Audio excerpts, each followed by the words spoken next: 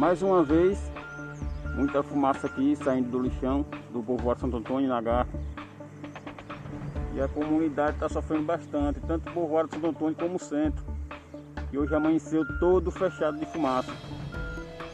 Nessa pandemia, né? Muitas pessoas com problemas respiratórios, gripe.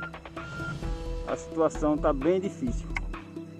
E aqui não para não, não sai fumaça, é muita fumaça, muita mesmo aqui no chão. Olha, vocês verem aqui ó, a situação. Aquela região lá do lado da Pururuca, do Vale Pururuca. Muita fumaça naquela direção. Tem uma máquina aqui, né, fazendo serviço aqui, juntando lixo. Eu acredito que é da prefeitura, né?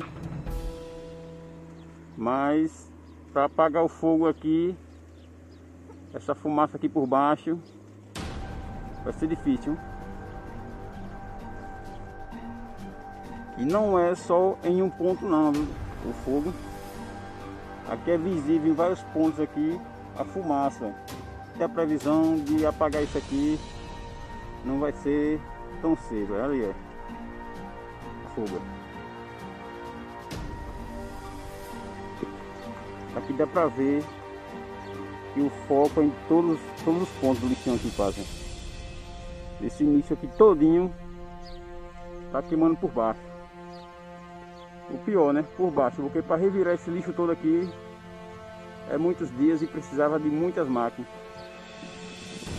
Felizmente a comunidade vai ter que conviver com isso por alguns dias.